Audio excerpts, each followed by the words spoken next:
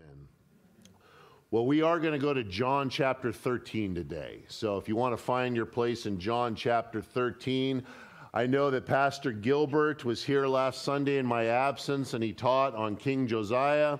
And King Josiah is really the last good king there ruling in Jerusalem before the fall of the kingdom.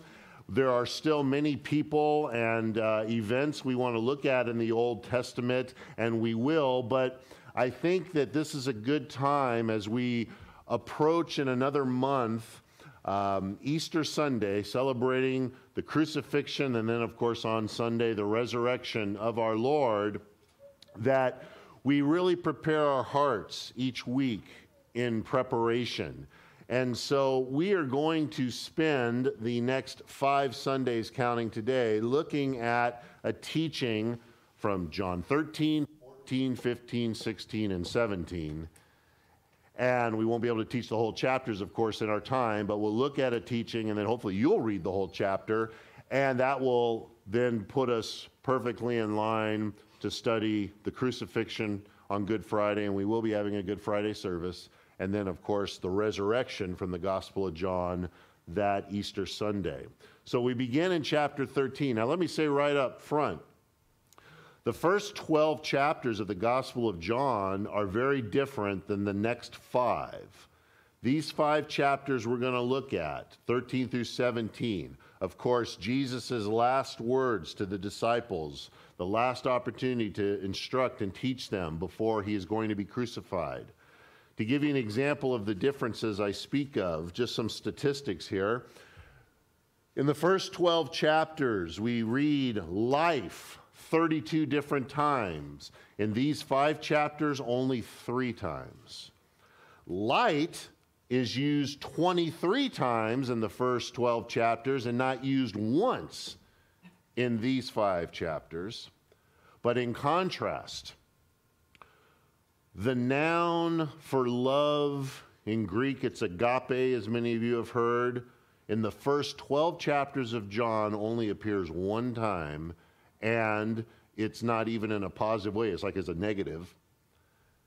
In these chapters, it'll appear six times, but even more significantly, the verb form of agape, which shows up seven times in the first 12 chapters, in these five chapters will show up 25 times. You see the change in emphasis. We go from talking about light and life to now focusing on love. And what has really changed? Well, largely it's the audience. He's no longer talking to the great multitudes. He's no longer bringing out messages for the crowds, whether they would believe in him or reject him. Now he's focused on the inner circle, these disciples, and these important words he wants to get across to them. And so as we start chapter 13 at verse 1, we read this now, before the feast of the Passover, when Jesus knew that his hour had come that he should depart from this world to the Father, having loved his own who were in the world, he loved them to the end.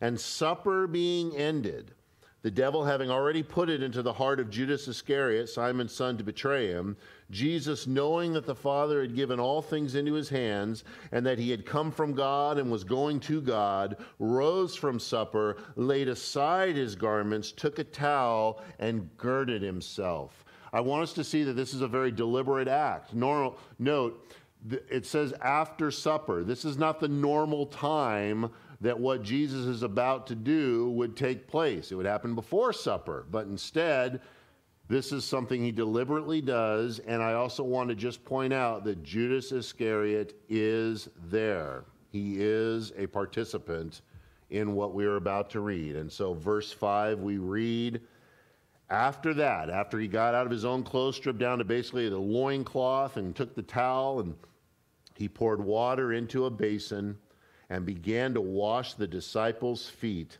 and to wipe them with the towel with which he was girded.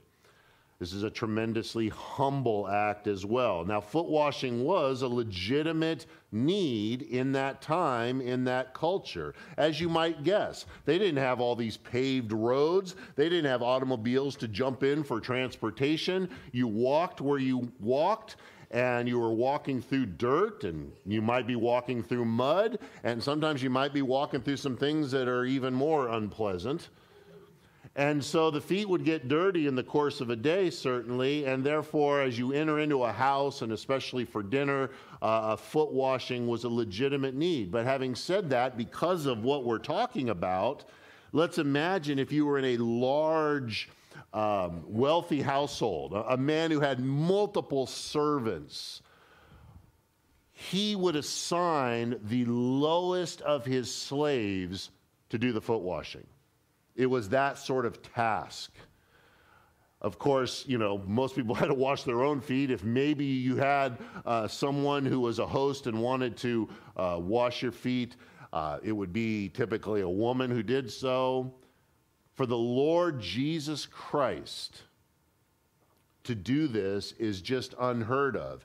And note, he deliberately, it's not just what he's doing with the foot washing, but he, he takes the, the form, the, the, the presentation by removing his clothes, dressing, stripping down. He, he would be dressed like a menial slave.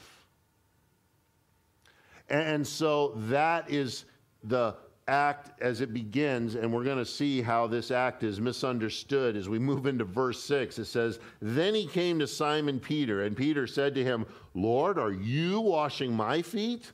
And Jesus answered and said to him, What I am doing you do not understand now, but you will know after this. And Peter said to him, You shall never wash my feet. Now,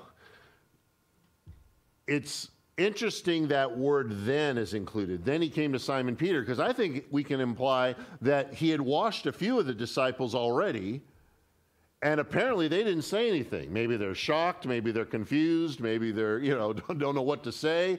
But uh, we don't read anything until we get to Peter. Now, we all know how Peter rolls. You know, he's not afraid to speak up, and so he does.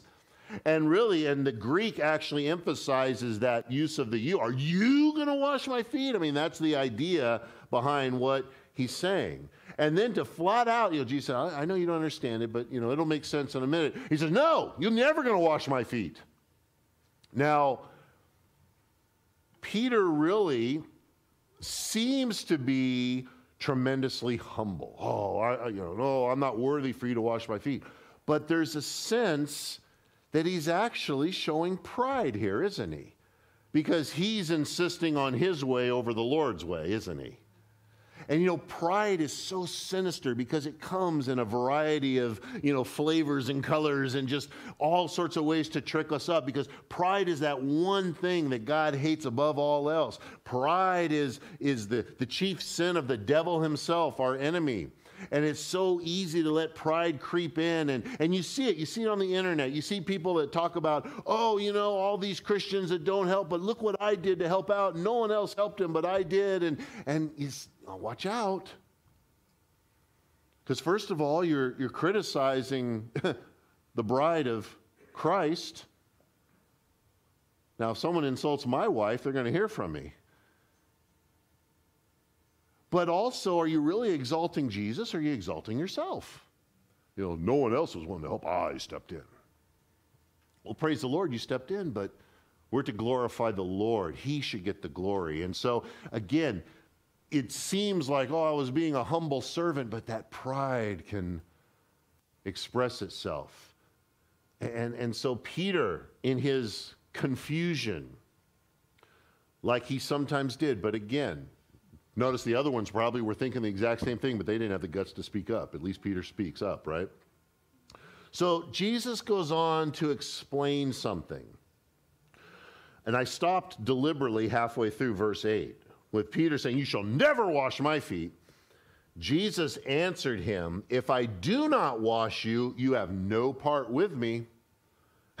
and so Simon Peter said to him, Well, Lord, not my feet only, but also my hands and my head, right? Jesus said to him, He who is bathed needs only to wash his feet, but is completely clean. And you are clean, but not all of you. For he knew who would betray him, and therefore he said, You are not all clean.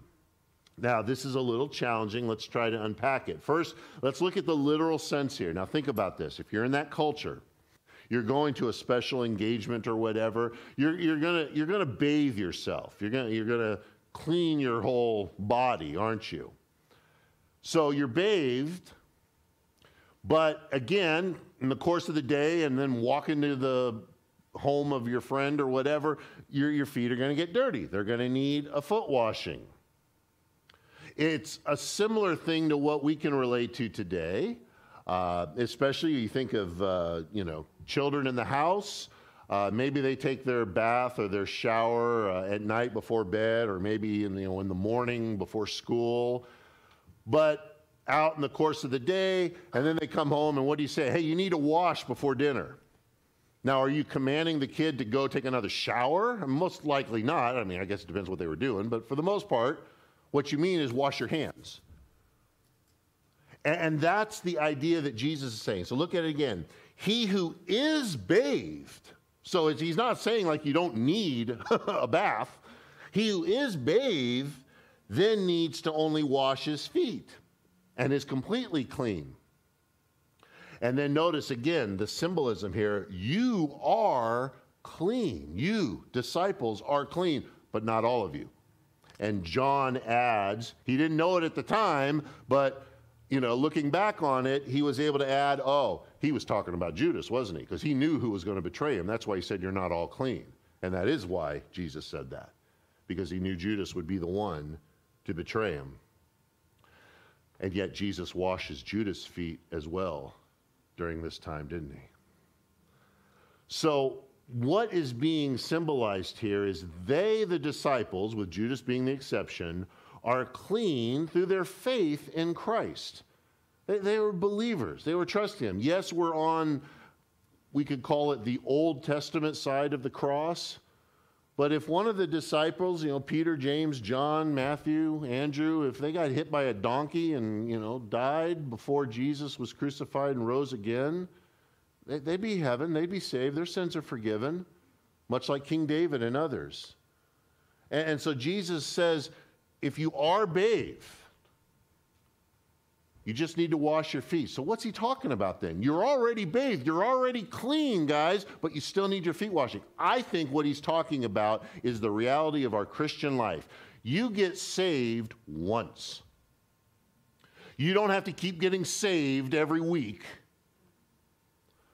But just like the foot washing was a regular need in the literal sense, what do we need to do? We need to regularly confess our sins to Jesus. And we're talking about that difference once more, and it's something I talk about a lot between our relationship with the Lord, because we are adopted into the family. We are now God's children by grace through faith in Jesus Christ because of what He did when He died on the cross for our sins and rose from the dead. That's our relationship. You become a child of God, and that relationship is secure. But then we talk about our fellowship, which is the daily walk with the Lord, our fellowship, which can be strained by sin and unbelief and rebellion and so forth. And that's the idea of the foot washing. So you're already clean through your faith in Christ. You don't need to get saved again. That's why when Peter said, okay, well, not just my feet, wash my head, wash my. No, no, no. You're missing the point, Peter. All you need is this because you're already clean. You don't need to wash all the whole thing. So it's kind of tricky and it's very symbolic. But Jesus isn't going to just leave it at that. He's also going to show us that this is an instructive act. He is doing this to teach the disciples an important lesson. And again, it's one of the last things he's able to teach them before he's going to depart. But how crucial it is for them and how crucial it is for all of us. And I think it's very clear what he's instructing, but let's look at it in verse 12. So, when he had washed their feet again, taken his garment, so now he gets back dressed, sat down again, he said to them, Do you know what I have done to you? You call me teacher and Lord, and you say, Well, for so I am. If I then, your Lord and teacher, have washed your feet, you also ought to wash one another's feet. For I have given you an example that you should do as I have done to you. Most assuredly, I say to you, and here it is a servant is not greater than his master, nor is he who is sent greater than he who sent him. There it is. Jesus using the most demeaning, menial task in society, practically, at his time. And if he was willing to do that, the servant's not greater than the master. So then he concludes, though, verse 17 If you know these things, blessed are you if you do them. And there's the rub, isn't it? There's a lot of things we know in the Bible, but are we doing them? Now, let me, before we get into this a little bit, let me say what it's not teaching.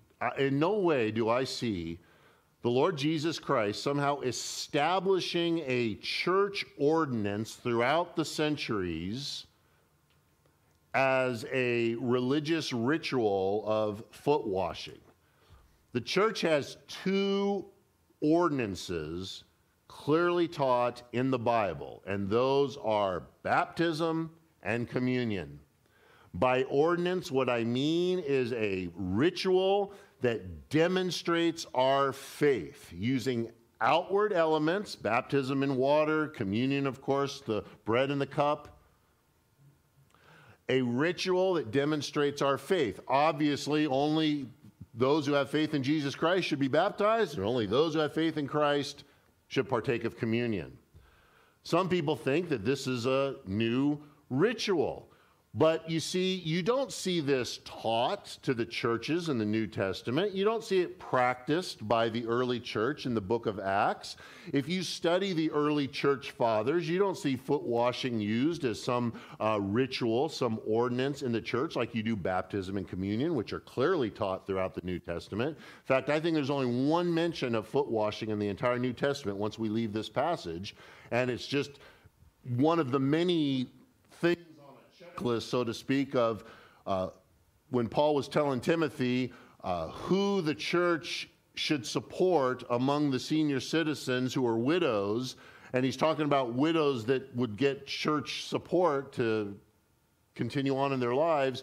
And what is mentioned among the many things is if they washed feet. In other words, they got a servant's heart. But that's not te- teaching an ordinance, a ritual for the church. And that's it, pretty much. So, we don't want to think that what Jesus is saying is that we ought to have a special time set aside, and I know that some churches do it. And so you can go and you can turn the TV on in a month when Good Friday comes and see what's going on in Rome or other places, and you'll see people take off their shoes and their socks, and they'll have their shiny, clean feet, because you guarantee you they washed them good before the church service started and then they go before some bishop or whatever, and he symbolically kind of rubs a little water on them with a towel, and oh, yeah, oh, such humility, oh, foot washing. I don't think he's teaching that at all. I think it's very clear what he's teaching. He tells us. Now, having said that, let's remind ourselves that foot washing is still a legitimate need in many parts of the world, right? I mean, there, you know, not everyone has the the, again, the, the concrete and the asphalt and so forth and the shoes. So there's, there's still a lot of people walking around either barefoot or in sandals at best on dirt and muddy paths where we could maybe take this more literally because it would be necessary. And maybe before coming into church, if we had a nice carpet, you know, we'd have a foot washing right before for people who are coming from a journey walking through the dust and the mud. But in terms of just a ritual, that's not what he's teaching. What he's teaching is very clear. No service is beneath a follower of Jesus Christ. Period. Using an example of a service, a legitimate service of foot washing, that just people did not do. In fact, there's some teaching, when I said it's the lowest of slaves, there's some teaching that even a Jewish male slave, a slave, still shouldn't demean himself to wash feet. I mean, that's how extreme it was. So, Jesus uses that as his example.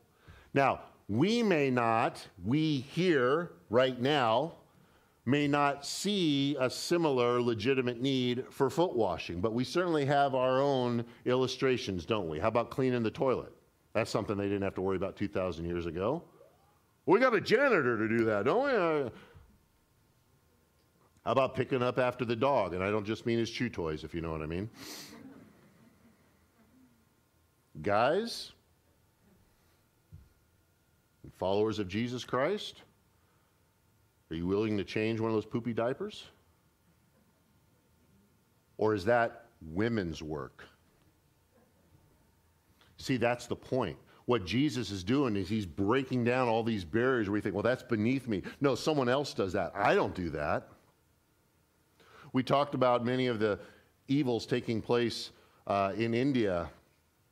If you know anything about India and culture, you know that um, what is still out there, though again, the laws of the government try to diminish it, but you still have that caste system, that idea that people have these different levels of society and you're never able to go higher than your level, and therefore the horrible jobs, just the worst things you want to do, cleaning all the filth, and that's the lowest caste. And, and just that mindset, Jesus blows all that up. None of that should be in our minds as followers of Jesus Christ. There's no, you know, that, uh, that's the woman's job. That's someone else's job. If it needs to be done and it's opportunity and it's presented for you and no one's going to do it like, you know, otherwise. See, one of the things that was existing in the days of Christ and the disciples, and this is why this teaching is so important, when you think about the temple, the temple, the Holy of Holies, the most sacred place, only the high priest could go into the Holy of Holies, right? Only the high priest. Then, as you branch out to the rest of the temple area, only the priests could go there. And then you branch out a little bit further, the Jewish men could go there. You have to branch out a little further. Now, the Jewish women, and there are these barriers. You know, women, you can't go beyond this point. Men, you can't go beyond this point unless you're a priest. Priest, you can't even go here unless you're the high priest. And then outside of the women court, you got the Gentiles who might be worshipers of God. And Jesus blows all that away, doesn't he? He made it clear at different times in his ministry, you know, in the, in the court of the Gentiles. This is a house of prayer for all people. And of course, we're told that when he was crucified, that separation into the temple that curtain was torn. And the Bible teaches about how now we have access to go into the holiest of all. Direct presence of God on the merits of Jesus Christ, who is our great high priest, not after the old Levitical order under the law, but or, according to the order of Melchizedek.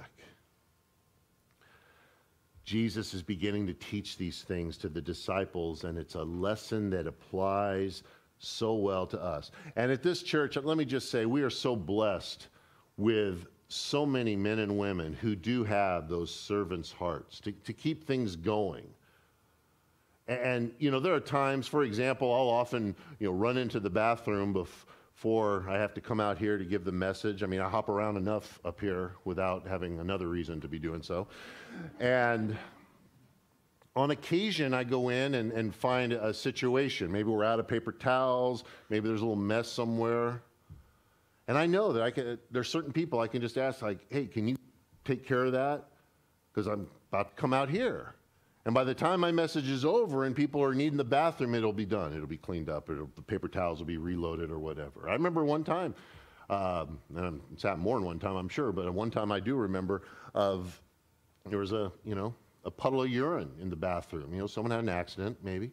And I came out and I asked Pastor Gilbert, Pastor Gilbert, yes, the same man who last Sunday in my absence was behind this pulpit teaching the Word of God.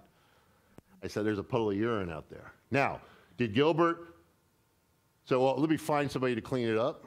No. He went and grabbed a mop and he did it himself. And that shouldn't surprise any of you who know Gilbert, right?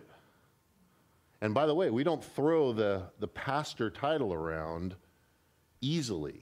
I mean, some churches I know they got like the sound pastor and the, you know, the donut pastor or whatever. And no, at this church, there's Pastor Steve, there's Pastor Dave, and there's Pastor Gilbert. And then, of course, our Spanish fellowship, we have Pastor Alfredo.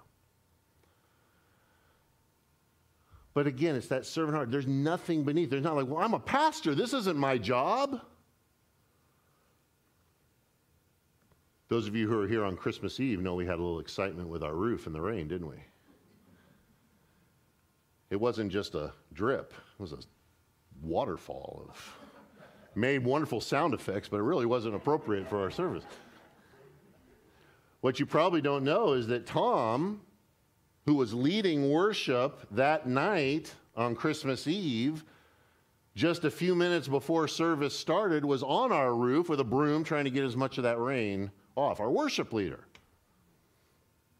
And then after Christmas, the next day, being a Saturday, both Tom and Steve Krambeck were here leaving their families to work on our roof because the next day was going to be Sunday and we were hoping not to have a problem. See, no one knows about that stuff. And of course, it's always a danger for me to start mentioning examples by name because then I leave people out. But I can just look around the church. I can just see servants and the things that have been done around here. You ever go to the store or whatever and you got something you want to throw away and you look and the trash can's just overflowing, right? You try to stuff it in there a little bit. To... Does that ever happen around here? Have you ever seen, oh, wow, these trash cans haven't been emptied in a week? Of course not, because if someone does it.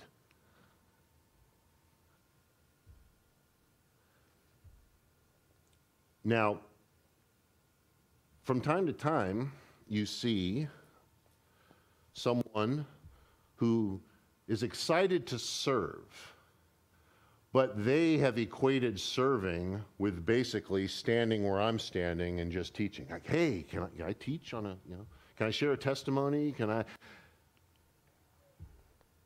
And it, sometimes you look at someone, because I, I love having opportunities for people to speak. We, during the summer on Wednesdays, we, we often have kind of our, from our church family, but we have different speakers for a few weeks on Wednesday nights during the summer, give people an opportunity. But sometimes, you know, someone like said, Hey, is it okay if I do it? And it's like, I don't know if I've ever even seen you do anything around here. And there's just something wrong in that mindset. You know, if you want to serve the church, yeah, we got a broom, you know, if you want to. Oh, no, no, I meant teach you. It's a story that needs far more explanation than I have time to give it. But one of the reasons I'm the senior pastor at this church is because I helped set up early on a Saturday morning at the men's breakfast. Like I say, to briefly explain, when we were fairly new, we'd been here a few weeks, just coming to services, not doing really anything else. I was in seminary, and Ron Ellard said, Hey, why don't you come on out to our Saturday men's ministry breakfast next week. I said, Yeah, okay, I can do that. What time is it? 7 a.m. All right. So I went. I got here, and of course, I see all these guys. They got food ready to go, and I see the tables all set up in the fellowship hall. And so I asked someone, I said, Well, well who sets all this up? I mean, you guys do. I mean, they say, Yeah, we got a few guys that come about 5 in the morning. So I kind of filed that away, and I said, Well, next month, I'll come out, but I'll come out at five and help the guys set up. And so while I was helping them set up, Ron, who knew about my background and knew I was planning on the chaplaincy and some of the things in life at that time, he came up and he said, Hey, do you want to teach at the men's ministry next month, the breakfast? I said, Sure. And then that led to another teaching assignment, which led to this and that, and now I'm the senior pastor. Pastor Gilbert can relate.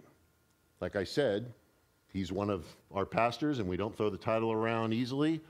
And yet, he began by watching the cars in the parking lot, which, by the way, he still does today as well, doesn't he?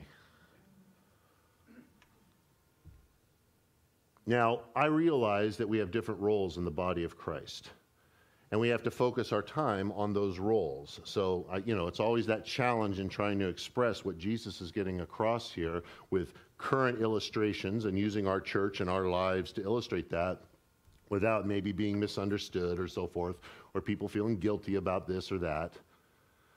So, in the different roles, for example, um, you know, the church doesn't want me to worry about making sure we get the donuts and get the coffee on and all that kind of stuff because I'm going to be teaching first service. And so someone else helps with do that.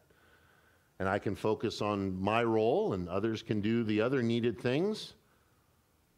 But I am truly grateful, I must say, and I know my wife Dee shares this, in our many early years of ministry.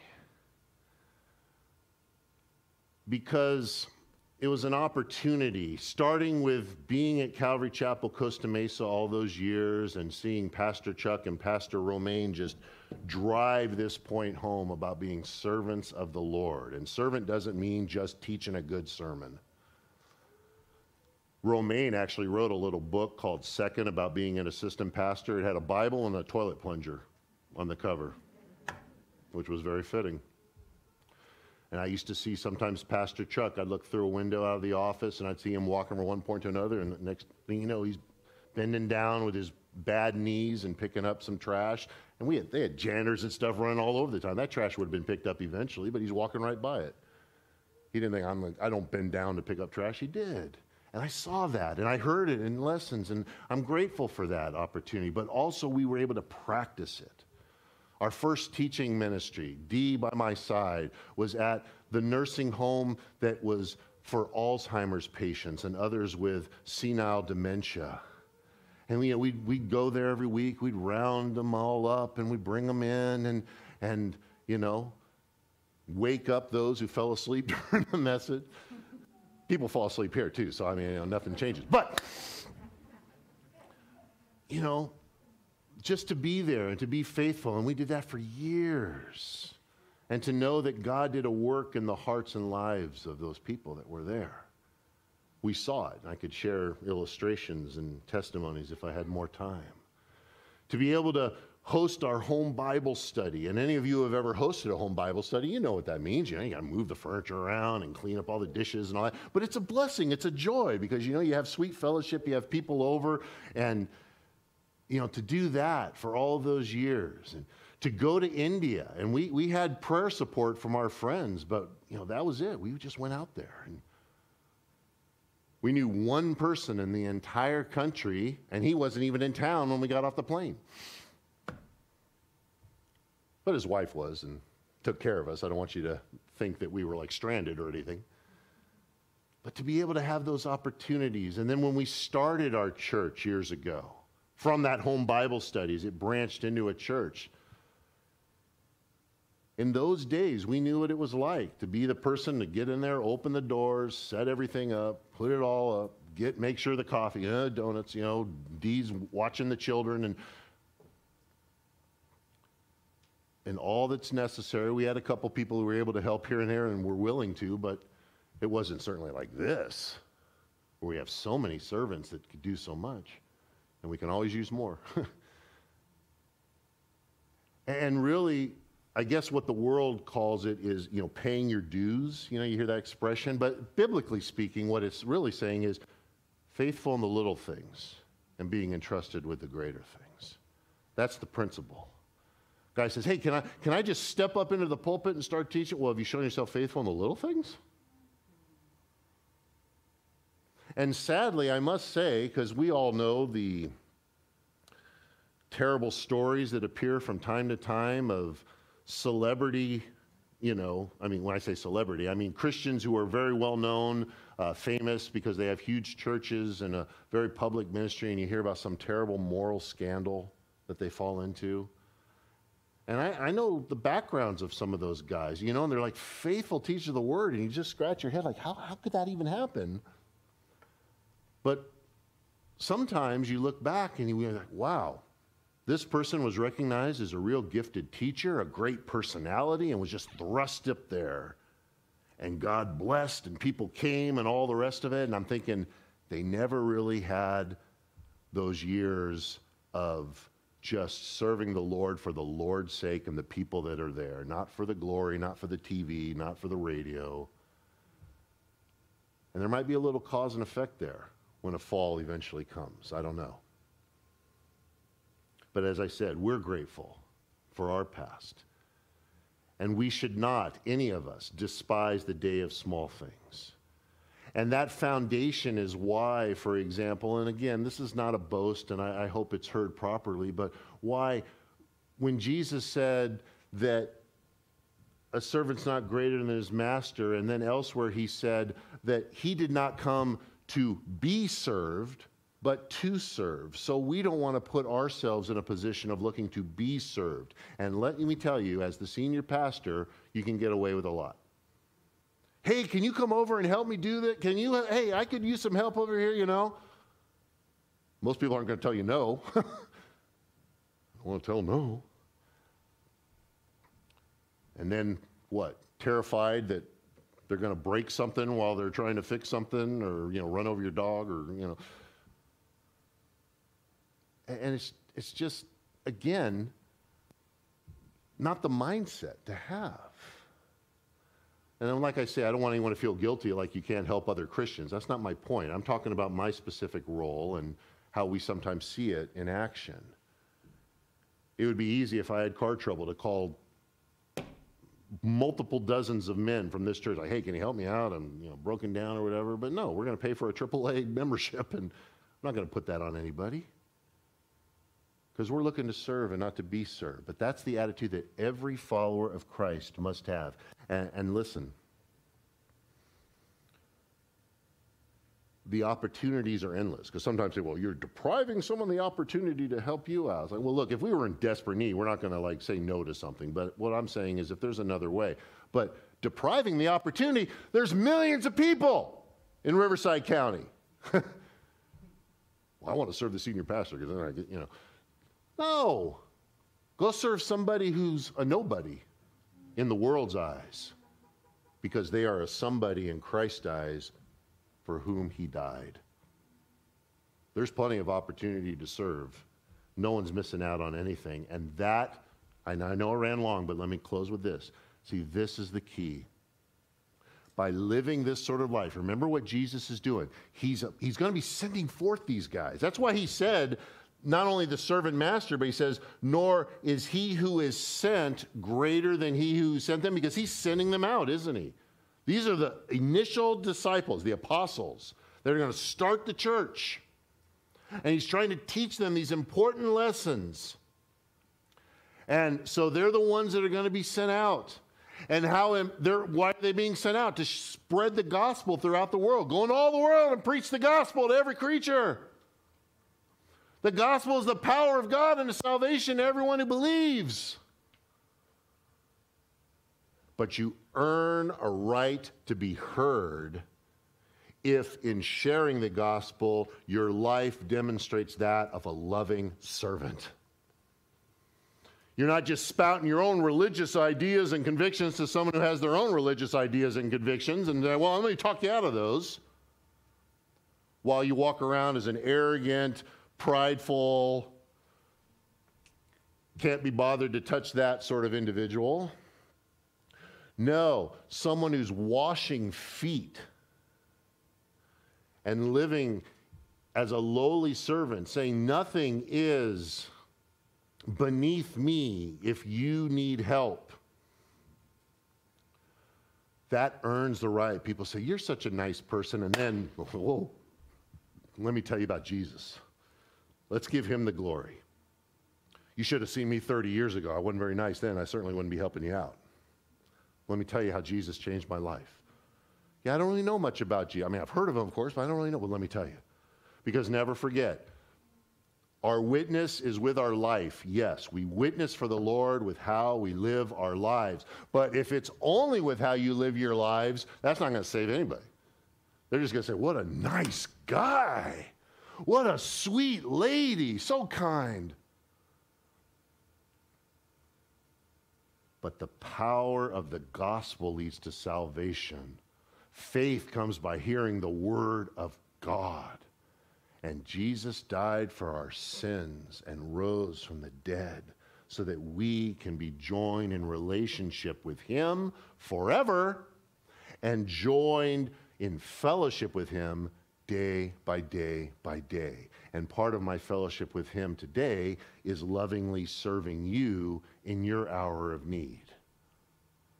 That's the connection that Christ wants for us word and deed.